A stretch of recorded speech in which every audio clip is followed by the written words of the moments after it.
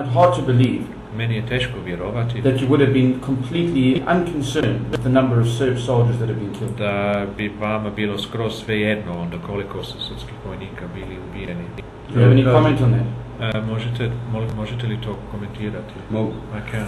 Ovaj, vi imate dojam da je to bilo na dva kvadrata ovaj, zemlje i da su svi bili tu. Onaj, You have the impression that this was two square meters of territory and that it was all there. to su planinski predjeli.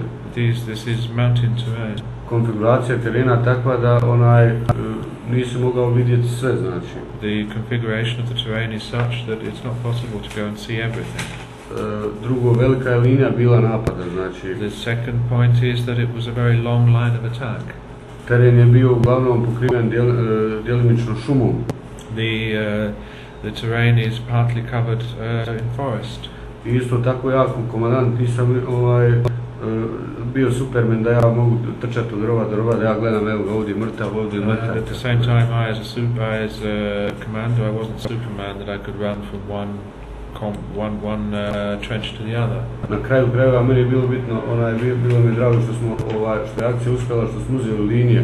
E sad koliko je bilo to... At the end of the day, I was uh, happy that the action had succeeded and that we had uh, uh, taken the line. And how many there were, Ovaj, uopšte tad nije mi bilo, više bilo bitno. it was, it was not important to me uh, at all anymore.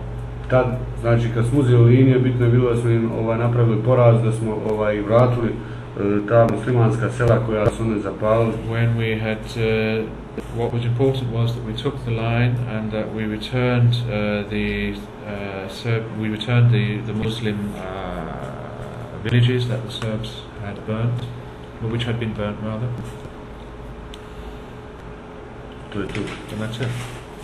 Ali mi smo ovdje da istražujemo Da. uh, optužbe of the possibility of war crimes. o mogućnost uh, da su počinjeni ratne zločine.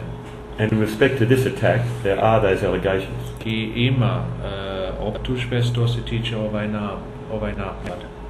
A koji će biti ratni zločin na bojnom polju? Onda, znači ja sam trebao njima da kažem, izvinite, gospodo Četnici, povucite se, ovo je naša zemlja. Uh, who's going to be a, a, a war criminal on a, on a battlefield? Am I supposed Znate to say, um, excuse me, Mr. Chetnik, would you please mind withdrawing? A oni mene u okruženju nabili i onda idu, nabijaju i ubijaju civile. Da li su ovaj, uh, vaši vojnici u toku ovog napada napali um, um, noževima ili, ili ovaj, kako sam dugin, dužin, no, dužin. Bajonetama. Ba, ne, ne bajonetama, nego kao duga nož, kao Sablje. sablje, e, sa sabljama ili, ili nožama. Tu za vrijeme Turske su, da, da je bilo možda je ratova sa Maybe, sabljama. maybe during the time of the Turkish wars, Yeah, but, but the answer is no. dakle, odgovor je ne, O, ne. no. Ja se zovem Nasir Orić. Moj otac se zove Džemal, a moja majka Hata. 3. marta 1967. Selo Potučari, opština Srebrenica. Časni sude i poštovana gospodo, nisam kriv.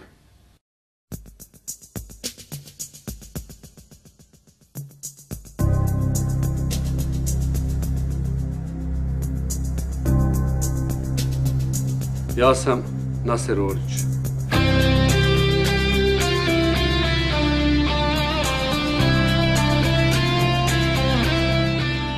Rođen sam 1967. godine u opštini Srebrenica, selo Gornji Potočar.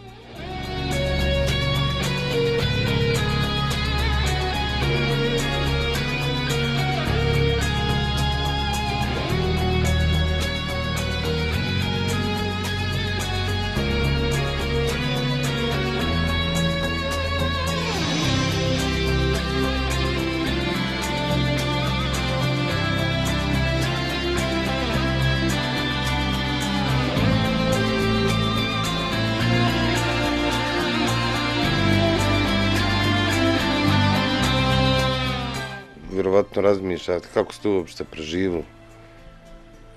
Pa ponekad postavim sam sebi pitanje kad vidim, gledam sad ove ratove po Siriji, gledam ono što je bilo onaj, u Libiji i tako dalje. Po dosta puta sam se postavio pitanje kako, ali vjerovatno ima tu Božije sudbine. Jer ja se nisam krio išao sam kao i svaki drugi borci što su išli.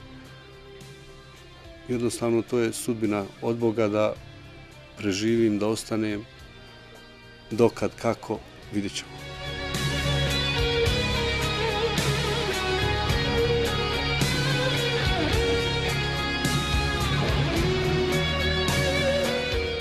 Ono što je posebno interesantno u tvojoj životnoj priči, ti si ovaj, bio specijalac u tadašnjem republičkom upu, to je bilo baš ova stvar prestiža, nije mogao svak da ide u tu jedinicu. Otkud ideja uopšte za tim? Je bio komšija u potičarima Adnan Karović, on mi je bio uzor i kao dijete gledajući njeg ja sam, ja sam onaj, za ono, javljam se tad želja i potajno sam želio da budem kao on i tako dalje. Ja to, nažalost, on je preselio i moje, pukla mu je ova aorta i on nije više onaj, umro je. Su bile rigorozne mjere za prijem? O, naravno, bile su, onaj, moralo je, kada, kada vam kažem, znači u cijeloj e, tad Srbiji bilo je samo 38 momaka koji su onaj, radili u jedinici milice za specijalna dejstva i to su bili momci koji su bili, ko, ko, kao, kao što, što kažu, moraju da bude zmija da bi ušao uži krug kada se rade ove provjere i tako da. Tako da smo imali svakodnevne treninge, bili su to kako e, fizički, tako psihički, znači morao se biti stabilan da bi ušao u taj, u taj tim, što bi rekli. Što se tiče e, same specijalnosti tih ljudi, mislim da do rata ta jedinica je slovila za najbolju jedinicu ovaj, u bivšoj Jugoslaviji. Imali smo najbolje rezultate, imali smo par e, situacija gdje nijedna specijalna jedinica u svijetu nije imala tako odrađene akcije, a da nije imala gubitaka gdje smo mi imali. Znači, dosta do, e, težak zadatak, a nismo imali gubitke, tako da smo pokazali znači, nivo jedan onaj, što bi rekli, pravi, pravi tim, timski radili, profesionalno se odnosili.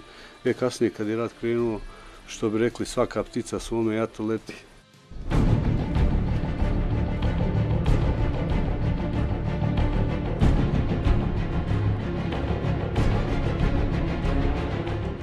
Specijalci, pripadnici te jedinice milicija specijalna lista Srbije, oni su, oni su uglavnom bili instruktori po tim kampovima većina njih, nisu svi, ali većina je bila, bila oni su se bavili ovaj, i dosta sportista koji su bili onaj, dobro, dobro ovaj, napredni sportisti u Srbiji, oni su isto to radili po tim kampoma kao što je Erdut, kao što su ovi, eh, obuka tih Neko kaže paravojne, ja to zovem onaj vojne jedinice, odnosno policijske jedinice, jer da bi bio paravojna, morao bi da, da se organizuješ bez ičije naredbe i da te država proganja. Međutim, ljudi koji su bili onaj obučeni kao sve ostale jedinice te države, onaj ne mogu biti paravojni, oni su bili u sastavu onaj države jedne te koja je koja je djelovala i radila.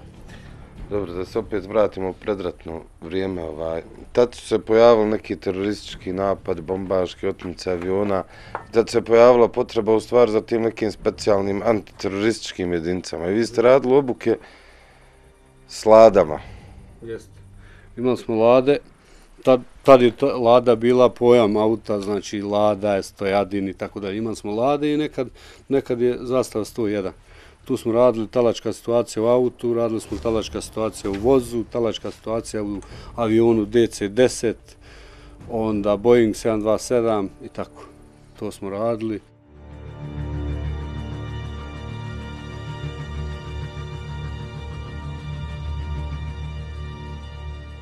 Upućeno je i upozorenje o supu Šibenik i stanici milicije u Drnišu i Sinju da će se, ukoliko oni ne zaustave vozila prema Kninu, pucati bez upozorenja. Ono kažete vi svojem svom izvješću da je ovo narodna milicija, da je milicija koja čuva i naroda, da je, a da je protiv te hrvatske vlade koja nam stvara zlo. Tako, glasno, jasno. Eto. To reci Mile Martić, onaj što se pisam, to sam ja. Tako kažete da, da sam rekao. Inspektor Martić da je rekao da je ovo narodna milicija i da ne sluša hrvatsku vladu, hrvatsku vladu nego samo ovaj narod. Onog momenta kad su e, se počeli naužavati Srbi u, u Kninu, u Hrvatskoj, tad je već bio neki, neki znak da je to, da je to već čaša prele, onaj voda prelila čašu, tako da da onaj od strane komandira ovog Radovana Stojića zvanog Bađe, onaj dobio sam jedan dan onaj instrukciju da bilo najbolje da se ja pomirim iz te jedinice, da može doći nekada vrijeme da, da onaj napadnem svoje ognjište, da dobijem naredbu i tako dalje. I čovjek je bio u pravu. Kasnije se to pokazalo i ništa ja onaj, sam pokupio svoje stvari, prešao tad u, u Sarajevo na Iliđu. Radio sam jedno vrlo kratko vrijeme na Iliđu, policijskoj stanici Iliđa, u to vrijeme bio Tomo Kovač, komandir. I onda sam prešao u Srebrenicu i tu me zatekao rat kao, kao policajca i onda smo krenuli. Tada ste imali 25 godina. Pa tako, 20 i pet. Što bi rekli mladička, onaj, tada sam bio kao komandir istrojnog odelenja policije i stanice u Potočarima i tu, tu sam imao jedan dio rezervnih policajaca, mješoviti, znači i Srba i Bošnjaka. Kasnije se odvajaju u Srbiji, idu za Bratunac, ostavljaju nas tu i onda eto, to je faktički ta neka mala grupica koja je pružila otpor na toj mjesnoj zajednici. Isto tako se dešavalo na svim mjesnim zajednicama u području opštine Srebrenica, osim u Skelanima, zato što su gore to je prva srpska opština Skelani na području Bosne i Hercegovine gdje su ta mjesna zajednica Skelani, oni su je proglasili srpska opština Skelani. I ovaj, tu nisu ljudi mogli ni reagovati, oni su došli, napravili tal, onaj, talačku situaciju, zarobili to stanovništvo i prebacili ih za treće zemlje. Tako da su u tom selu ti bošnjački kuća oni pravili po uzoru na legiju stranaca, pravili su ovaj poligon gdje su te kuće, pomoćni objekti ovaj oko kuća korištene za obuku tih crvenih beretki. Dobro, ovaj, tada već dolazi i okupacija Srebrenice. U stvari Srebrenica je bila i prvi oslobođeni grad. Vi ste tada Jeste, djelo... ona je okupirana, mi smo je, mi smo je oslobodili 8. na 9. maj. 92. Jeste, 92. gdje onaj gdje dolazi do, do sadejstva svih tih grupica koje su bile na svim mjesnim zajednicama, nekako smo se uvezali, pokušali da napravimo onaj, te neke onaj, male formacije koje su djelovale ovaj, gerilskim načinom ratovanja, tako pokazalo se u tom prvom momentu da je to efikasan način ona, ratovanja i tako tada nastaje u stvar pravi pakao. Kako se ukratko može opisati život u Srebrenicu tokom tih ratnih godina?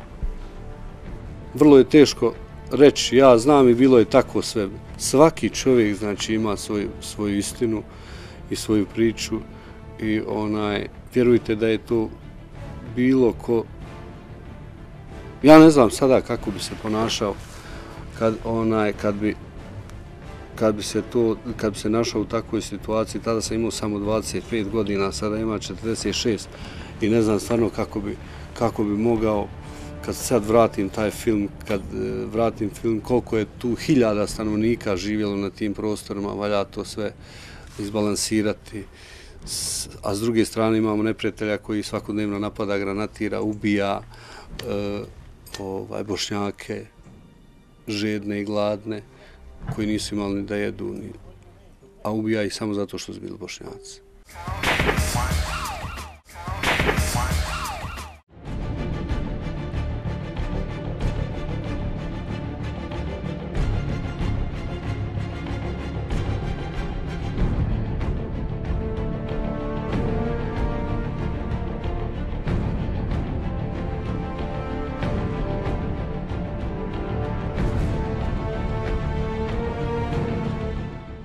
Smo danas trebali posjetiti skroz drugu lokaciju, Srebrenicu, odnosno rodni grad Nasara Orća i rodnu kuću Nasara Orća.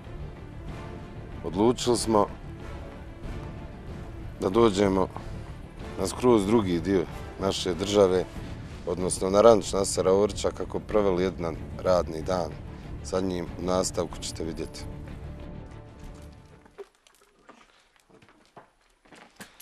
Vi ste još kao dječak imali želju da imate konja. Koji je to konj u pitanju bio? Pa bio, ona, ja sam tu u mojoj knjizi objasnio, mi nismo, s obzirom da je to bilo selo, nije bilo nešto, Bog zna, bogato. Imali smo svega možda dva, tri konja onaj, u selu i onda kad mi kod djeca, kad smo bili mali, onda kad dođu da, da nam prevozi džubre u, iz njive, od, od, od ovaj, štale do neke njive gdje ćemo da, da, da, da sijemo nešto, onda smo mi kod djeca trčali kad onaj u povratku kad konj ide prazan onda mi nabacimo se na konja i da da jašimo. I to je bila neka moja želja kod dijete da imam konja, međutim jednostavno uslovi življenja i to nisu dozvoljavali. I onda onaj kako sam odrastao, ono ta želja mi je uvijek bila.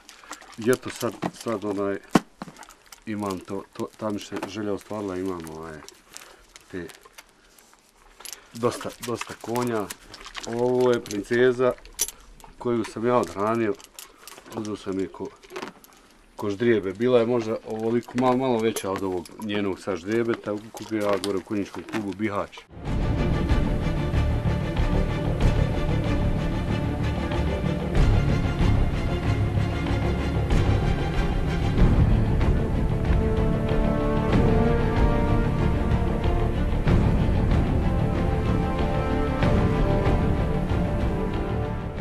Na ovom snimku iz rata, iz ratnog Ja, perioda. ono onaj bijelog, zekana, sivac. Zekan, čuveni. Sivac, ja.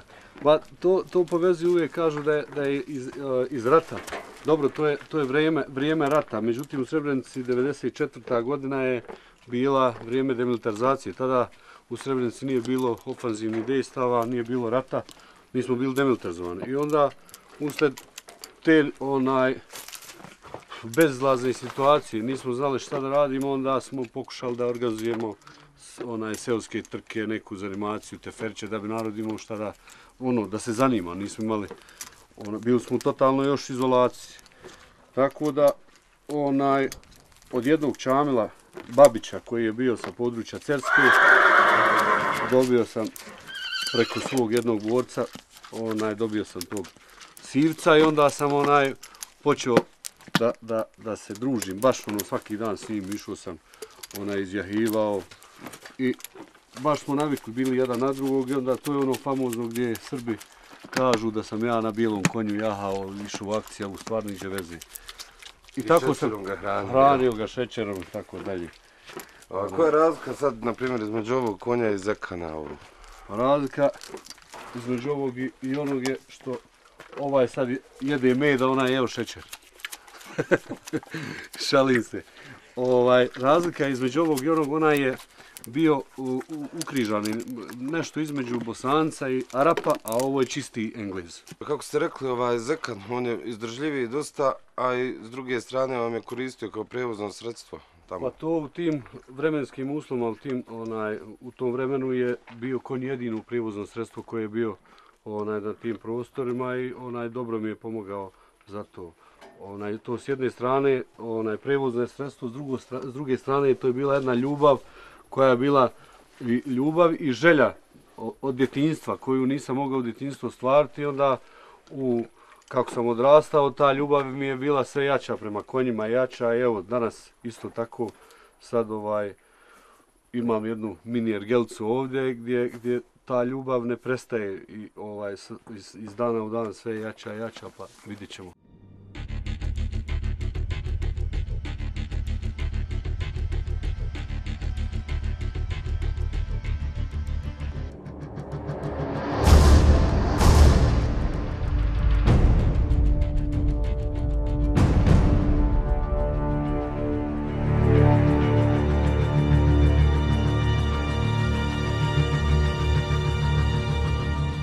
Pravo liče na ono konju. Isti, ista boja, isto sve. Sivac. Samo što je, što je onaj... On je inače težak bio 600 kila kad sam ga uvezu iz Kelna.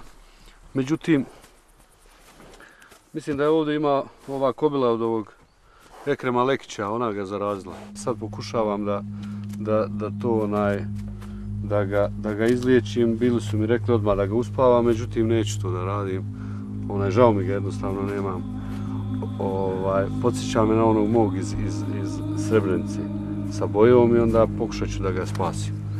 Može se spasti dužom terapijom i tako.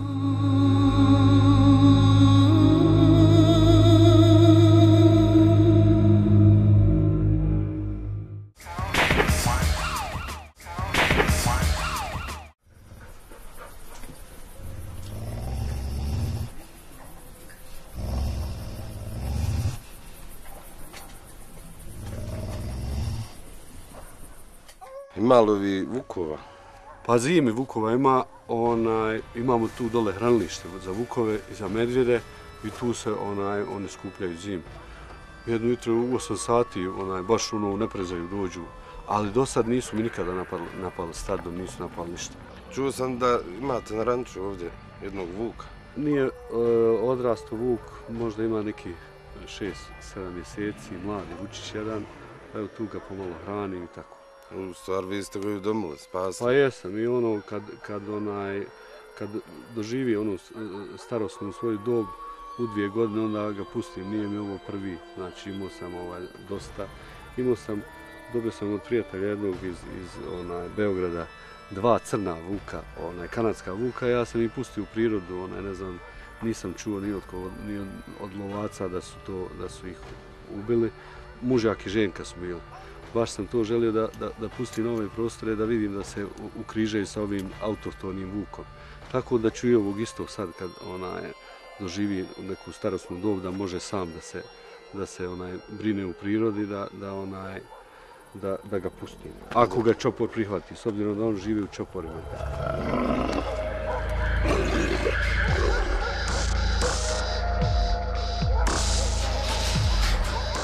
Koji vam je najdraži? Vaga mi je najdrži ovaj Kane Korsa, on je ovaj ko mali baš bio sa mnom onaj u Sarajevu. Bio u stanu, držao sam ga u stanu, sve onda kad kasnije onaj kako je odrastao, onda sam ga morao prebaciti ovamo, ali je lud. Znači bolesno ljubomora na ostale pse koji su koji su onaj, evo vidi sožiljci ovdje. Njihova genetika, njihov kod je, to su psi koji su baš ono bodyguard psi, čuvari. Možemo ga pustiti? Možemo, dođemo.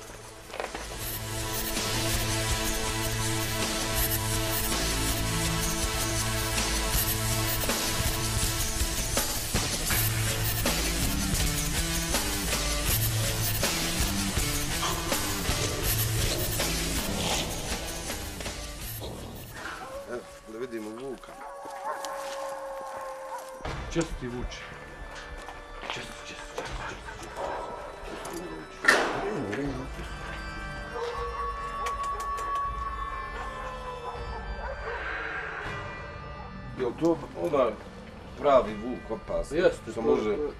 autohtoni vuk sa ovih naših prostora. Znači, ovaj, samo što je ovo što mene ima neki 6-7 mjeseci. on- Inače, kad je, kad je sam sa mnom, ja ga pustim, on se igra s ukama, trče, hoda i sve. Međutim, kad ima, čim ima neko dođe sa strane on odmah osjeti to i odmah vidite kako mu je rep između nogu.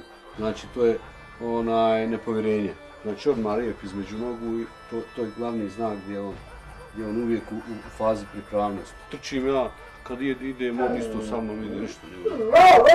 A kako su reagovali ovi psi? Ništa, igraju se s njim sve. A on je dosadan, onda on igra se s njima. Ovaj, ali on je po, baš ono u, u, u, u genetici ne, ne miruje na jednom mjestu. On se umore, sjednu pored mene, a on non stop ono, igra se s njima. Vraća malo red kada stiče Da povjerenje. jeste, kako sad ono ide, dođe. Gdje ste ga našli? Ovo ovdje na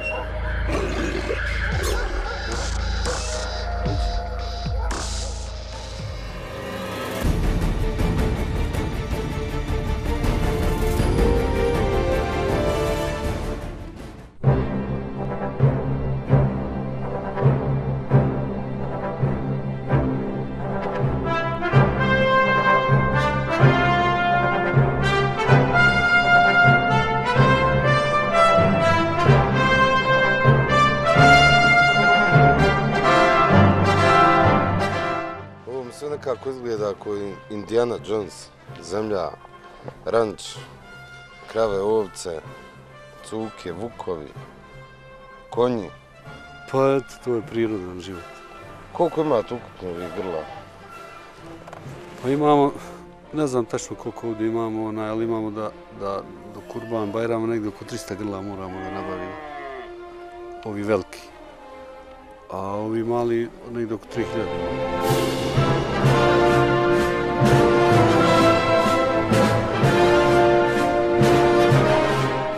Ne treba ti piti i spi da ličiš na bolji način nego na ovaj način.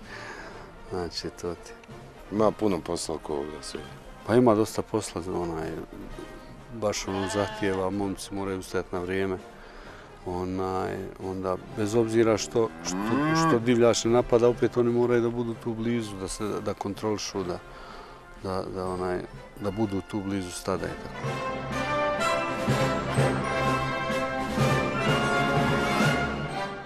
Sam došao prvo u lov. Lovio i onda mi se javi ideja da budem tu da napravim ne, neku sebi ko, ko onaj, lovačku kućicu i tako dalje. I onda smo krenuli od tog, posle toga počeo sam sve više provoditi vrijeme u prirodi i onda, s obzirom da provodim dosta tu vremena, onda da napravim nešto i korisno. I tako, eto, to je bilo. I tako izraslo. Tako izraslo, ja, ništa ono nije bilo neplanski sve, ali to dobro je. Pa, jedno večer sam bio na treningu, isto tako, to je ono, bila moja svakodnevnica. Kada sam ušao u Medan, vidio sam onaj nepoznate li, osobe koji su, vidio sam da su to stranci. Pitao sam ovog momka koji vodi treninge dole, što, tu teretanu, da li su nekada prije dolazili, nisu. I sadašnji komesar MUPA u Tuzlanskom kantonu je tad bio i bio je još jedan momak ovaj, koji se zove Vahav, on je završio DIF. Malo mi je bilo sumnjivo zato što nisu bili redovni, nisu u tom vremenu dolazili na treninge i tako. Ja sam pitao odakle vi na treningu su, i tako malo smo časkali, dobar sam bio s tim ljudima. Malo su mi djelovali ko ono, nisu mi bili prirodni. I kad mi je ovaj momak rekao da, da, da su ovi prvi put tu na treningu, ja sam vidio da su to stranci, posumnjao sam da se to radi o meni, da mene prate i tako dalje, s obzirom da sam prije imao od strane vas svi upozorenja da rade onaj gore i tako dalje. I onda sam, kad sam krenuo iz teretane, kad sam završio trening, vidim auto Chrysler prati me. A imao sam neku svoju seansu posle treninga, obično svratim u džugum, tu prek puta Mupa jedan lokal gdje se su akupljali podrinci predveći, tu smo sedli po časkali. Kada sam došao, opet sam zapazio unutra tamo jednog momka, on je bio mal, zdepast, debeo, koji je bio okrenut leđima, ali u, u ogledalu pratio situaciju unutra u lokalu. Isto ovaj momak što je radio tu, kaže, stranac neki tako.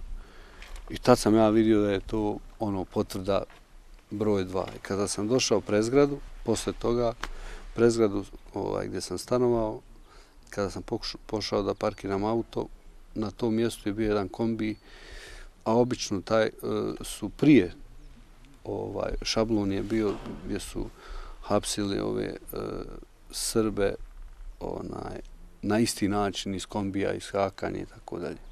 Ono kamuflažno bilo. Ja sam to primijetio onda sam samo iskočio iz auta da ne bi ako bi onaj da, da, da ne bi došlo do pucanja, da, da vidi da nemam oružje kod sebe i tako dalje. I ispred samog ulaza sam onaj samo tu su me ovaj uhapsili, stavili vreću na glavu, listce na ruke, listce na noge i ovaj faktički me unijeli kao tabut u taj kombi posadili i onda sam, mislim da smo bili u bazi Orao tamo na, u, u Žvincama evo odatle sam transportnim avionom ovaj, prebačen u, u Hag, u Holandiju. I tako je tu gore kad sam došao. Časni sude i poštovana gospodo, nisam kriv.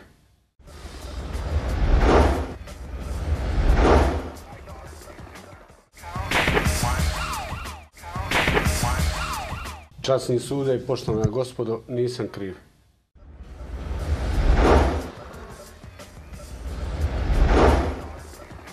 Pročita se kodeks ponašanja od strane upravnika, posle toga upoznavanje ovaj, sa zatvorenicima i tako kreće zatvorski život. Organizuješ sebi onako kako ti misliš da, da, da treba i tako. Ja sam bio u kontaktu sa svima gore u principu. Ovaj, čovjek e, formiraš, sebe organizuješ zatvor i e, sebi život onako kako ti misliš da, da treba. Svaki, svaka ovaj, svađa, svaki problem je otežavajuća okolnost za samog zatvorenika i ovaj, u principu svi ti koji su bili gore, oni imaju svoje breme, oni su to ovaj, breme nosili svako za svojim vratom i dokazivali svoju nevinost pred sudskim vijećem. A mi smo bili u pritvorskoj jedinici i onda e, htjeli, ne htjeli, morali smo da živimo skupa. Tako da onaj bio je, išao sam na, onaj, sa zajedničkim e, treninzima kada smo imali, išao sam ovaj, tamo sa spratom od Miloševića, sa Šešeljom sam bio, sa i tako. Krajišnik je bio isto jednom, bio je čovjek onako, što kažu čovječuljak u poznim u godinama. Ti stari listci, što bi rekli, političari, oni su se tako i ponašali, pokušavali su da, da ostavi dojam političkih ljudi, diplomatski se ponašali, tako da nisam imao neke probleme. Ovi niži, sitni, onaj, što bi rekli, Buranija, oni su pokušavali da budu veliki Srbi, ali to je gore nije, nije, nije pilo vode, tako da. Tužilac protiv Nasera Orića. Tačka 1 i okrutnog postupanja, tačka 2, od 27. decembra 1992. do 20. marta 1993. i proglašava da Nasser Orić nije kriv po tim tačkama.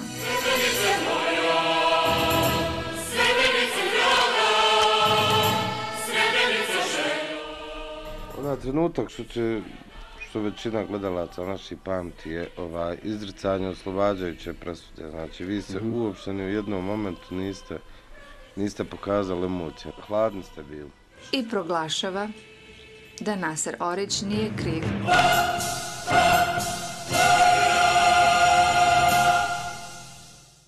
Kada sam uhapšen, takav sam bio isto, jer onaj, otišao sam tamo i dosadlo mi je bilo da svaki dan me prozivaju zločinac, ovakav, onakav i jedva sam dočekao da sto već jednom ta, ta agonija završi, da sto kaže ili jesam ili nisam. I onaj, znao sam da nisam, ali sam morao to sve izdokumentovati, morao sam dokazati. Tako da sama ta presuda kada je bila, nisam ništa odreagovao. Naravno da mi je bilo drago što, što sam pokazao svima onima koji su me ovaj, pravili da sam zločinac, da sam kriminalac, profiter i tako dalje, dokazao sam im u stvari ko sam. A onaj, s druge strane, sjetio sam se mojih poginulih boraca koji su dali svoje živote i sjetio sam se njihovih porodica i sinova i djece i onda onaj, rekao sam, hvala Bogu, makar sam živ. I tako da bilo me stid pred, tim, pred tom djecom da se ja radujem jednom običnom puštanju na slobodu, a njihovi roditelji, odnosno njihova djeca, ta djeca nikad svoje roditelje neće vidjeti. Tako da je. I malo i to me malo u tom trenutku, toga sam se svega sjetio, tako da sam pomiješala se ta osjećanja i onda e, taj dio života koji sam proživio s tim ljudima, jer u tom vremenu i prostoru, tad smo, što kažu, bili halali svoje živote i ovo sve što živimo, to je gratis. Iz Republike Srpske stižu reakcije. Oslobađanje Orića smatraju posrnućem pravde i Haškog tribunala, ali za porodice žrtava genocida u Srebrenici njegovo oslobađanje je čin pravde. Ja sam znala da Naser Orić ne pripada tamo gdje su ga bili stavili. Jer prvi put kad sam čula da je podignuta optužnica protiv Nasara Orča, onda sam vidjela da je svijet nepravedan. U Beogradu se također oštro reaguje na današnju odluku Haškog tribunala, a predsjednik Republike Boris Tadić oslobađanje ratnih zločinaca krivice smatra skandaloznim.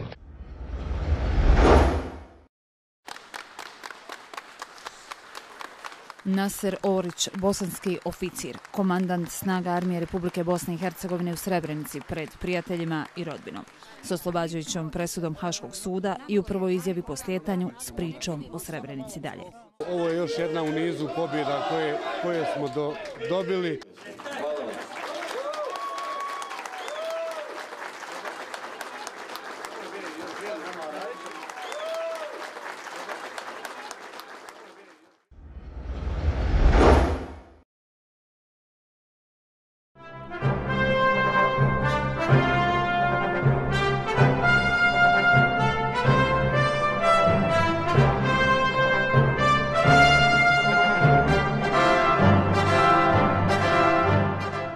Vaša životna priča i biografija je fascinantna. Prošli ste baš sve i svašta. Od specijalca, komadanta, neki su vas etiketirali ko ratnog zločinca, neki ko kriminalca. Evo danas se bavite biznisom. Ja sam jedan dio mog života rekao u, u toj knjizi. Sve te medijske ovaj, kampanje, sve te strukture koje su pokušale da me kriminaliziraju ovaj kroz tu knjigu to je ona ja sam dokumentovao i to je palo u vodu.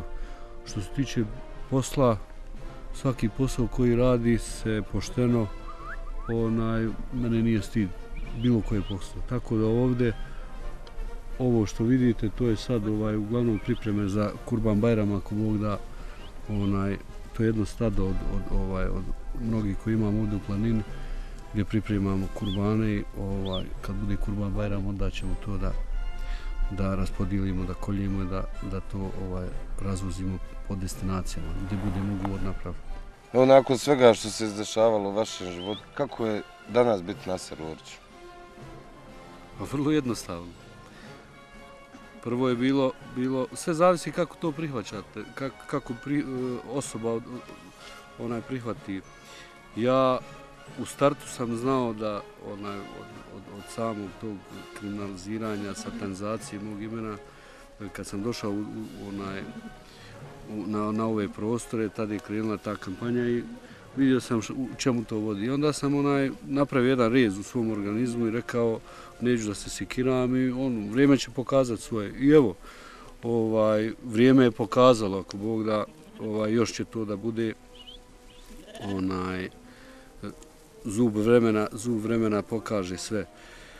Jednostavno ja sam se ponašao i ponašam se isto kao što sam što sam ona i bio jednostavno normalno živiš, radiš ono za što za što ona misliš da, da, da treba da radiš, to radiš časno, pošteno i nema potrebe da se sikiraš. To članci po novinama i tako dalje sve, sve evo, ovaj, transparentno, ne treba niko ništa da, da dođe da kaže da sam ovakav i onakav, evo tu, tu ovaj, sve se to vidi. Uopšte se ne stidim, hoće da reći neko sutra nas je čoban ili neće čoban, ja od tog živim, živim, onaj, tako da nije me stid. Svaki posao koji se radi pošteno i časno, to je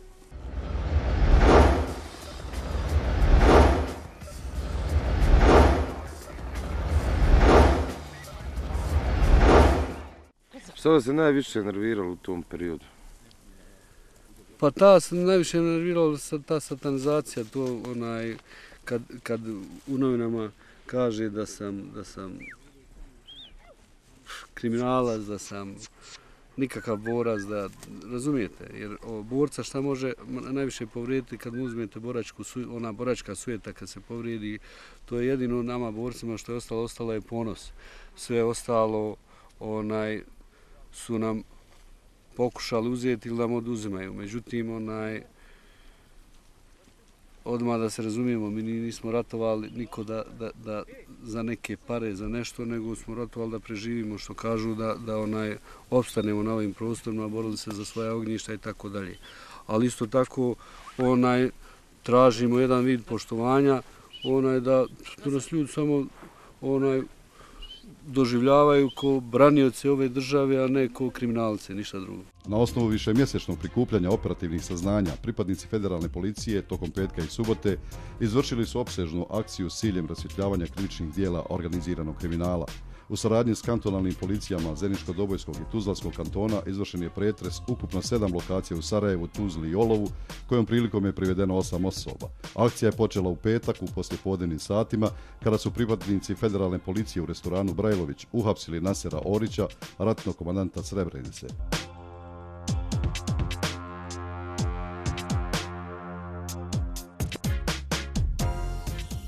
Kad su vas uhapsili, ja sam bio tu isto, slučaj Vix, snimali smo. Sjećate li se toga? Sjećam se, sjećam se. Kada sam me pitao šta je ovo nastane.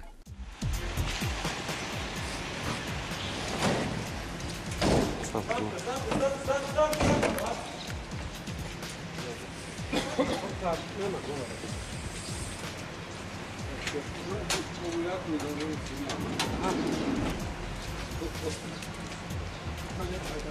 you.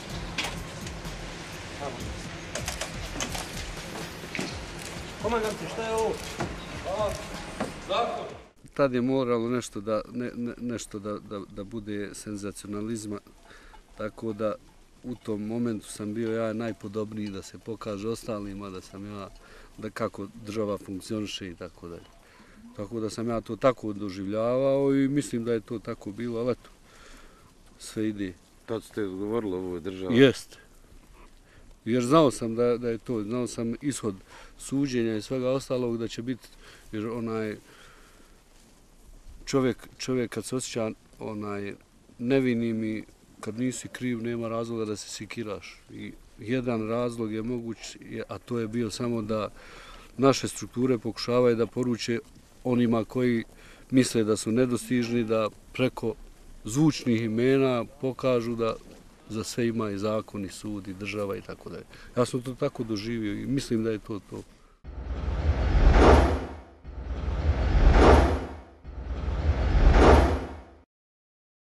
Ja se nisam borio ni za kakav novac, ni za kakvu fabriku da mi neko da, da mi pokloni. Ovo što vidite iza mene, to je moj trud i rad zajedno sa svojim saborcima, tako da se ne stidim ni države, ni, ni državnika. Znači, sve što vidite, to je moje, onaj, i od svog truda i rada sam zaradio i radim i ne stidim se tog posla. Naser Orić u 16 poglavlja knjige čitatelje upoznaje o danima djetinstva, boravku u specijalnoj jedinici MUPA Srbije, ali i o ratnim događajima, genocidu u Srebrenici, te o odlasku i boravku u pritvoru Haškog tribunala. Dugo godina sam se ja onaj lomio, tako da kažem, da li da stavim to na papir ili ne. I onda je između ostalog bio jedno, jedno, jedno mjesto gdje sam razmišljao š, onaj, kada dođem tu da, da, da budem šta da radim, da li da to radim ili da ne radim. I onda sam u nekom trenutku donio odluku da želim da i ja kažem svoju stranu svog života, bez obzira na te raznorazne tračeve, raznorazne priče, Tako da sam onaj krenuo u tu što kažu proceduru. I eto jedan i ovaj od ambijenata gdje sam slagao te strance te knjige je i ova vikendica pored ostalih ovaj tih mjesta. Većinu slučajeva ovdje smo ovaj provodili ovaj u tišini slagali ovaj utiske evocirali ta, te uspomene što kažu da lakše čovjek malo vrati film unazad, da se, da se prisjeti svega i tako dalje. I ona, tu sam krenuo i mislim da sam uradio dobru stvar zbog naših potomaka, zbog naše djece koja treba i da čuju i jednu i drugu stranu, pa neka, neka same ovaj, zaključe šta je se u stvari dešavalo na ovim našim prostorima bošnjačkim.